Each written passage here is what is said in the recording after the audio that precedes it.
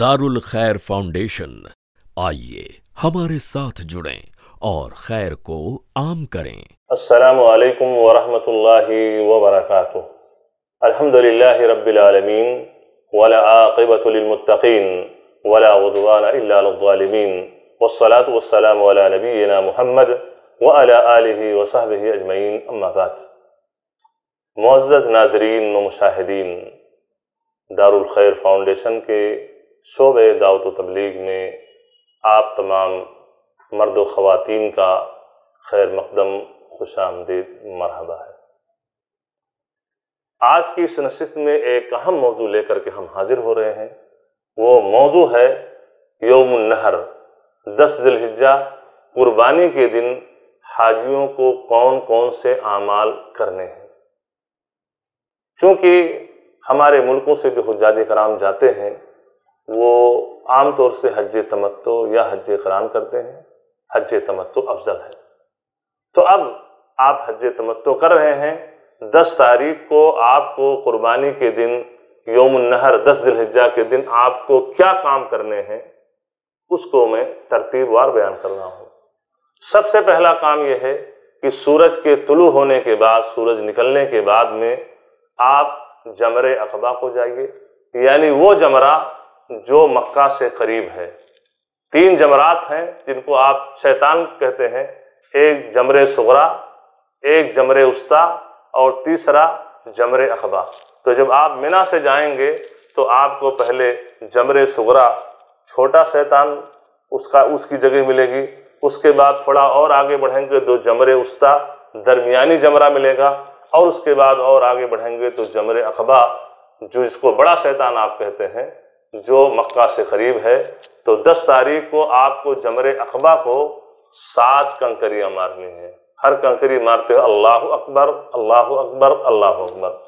कंकरी मारने के बाद दूसरा काम यह है तरतीब से कि आपकी कुर्बानी हो जाए। तीसरा काम यह है कि सर के बाल को मर हजरात मुडा लें, या मुडाते नहीं तो सर के पूरे बाल को कसर करवा लें। और ख़वातीन साथ में हैं तो जो चोटी बनाई रहती हैं, चोटी के अखीर से उंगली के एक पोर के बराबर वो काट लें, उनका कसर हो गया। अब इसके बाद में वो अपने अहराम खोल दें, गुस्ल करके अपने आम ड्रेस में हो जाए। ये क्या हुआ? तीन काम तरतीब से कि जमरे अकबा को कंकरी मारना साथ, दूसरा काम कुर्बानी करना, तीसरा काम हलक या तफसीर ये तीन काम हो गया, एहराम आपका खुल गया। चौथा काम यह है कि तवाफ़ इफादा। कि अब आप अपने नॉर्मल ड्रेस में आप मक्का जाएँ, खाने काबा का, तवाफ़ करें सात चक्कर और उसके बाद में सफ़ा मरवा की सही करें, इसको तवाफ़ इफादा करते हैं। तो ये चार काम आपको तरतीब से करने हैं और ये तरतीब अफजल और बेहतर है।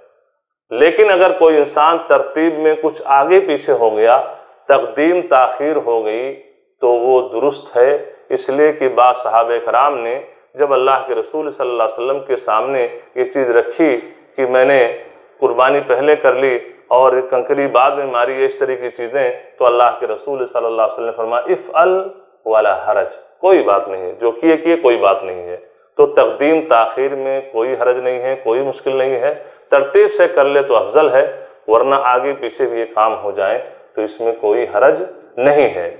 अब यह है कि हमारे बहुत से भाई कुर्बानी के बारे में परेशान रहते हैं कि भाई, मैंने कोपन दे दिया है, कोपन ले लिया है, या कोई करीबी वहाँ रहने वाला था, उसको पैसे दे दिए कि आप जाके कुर्बानी करवा दिए।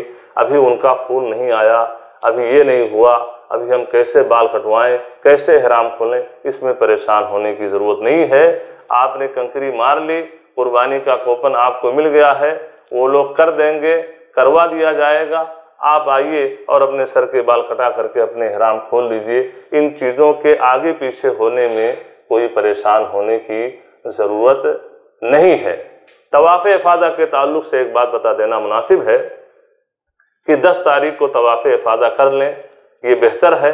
तो पूरे तौर से आप हलाल हो जाएँगे, एहराम की सब पाबंदियाँ ख़त्म हो जाएँगी हती की तवाफ़ इफादा करने के बाद मियाँ बीवी अपने ताल्लुक भी कायम कर सकते हैं। लेकिन कोई इंसान माजूर है, बीमार है, सेहतमंद नहीं है, चलने में परेशानी है और 10 तारीख को काफ़ी रस और भीड़ होती है तो ये तवाफ़ फ़ादा, आप 10 के बाद 11 को 12 को 13 को, उसके बाद भी हती कि जिस दिन आपको मक्का छोड़ना हो, आप तवाफ़ विदा के साथ ये नियत करके कि तवाफ़ फ़ादा की तो भी हो जाएगा, इसमें कोई हरज, कोई मुश्किल की बात नहीं है तो जैसे आपकी कंडीशन हो, उस हिसाब से आप तवाफ़ इफादा करें। अगर 10 तारीख को करने की आपके अंदर सकत और ताकत है तो 10 तारीख को फारिग हो जाइए। और अगर नहीं है तो जब तेरह दिलहिजा को आप मिना जाएँ, उसके बाद में जाकर के तवाफ़ फादा कर लें। बस ये है कि हिल्ले अकबर तब तक तवाफ़ फादा नहीं करेंगे। बड़े तौर से आप हलाल नहीं होंगे और मियाँ बीवी के ताल्लुकात एक दूसरे से जायज़ नहीं होंगे। बस ये चीज़ है, बाकी हज के ये काम इस तरीके से दस दिलहिजा को, एक हाजी को करने हैं।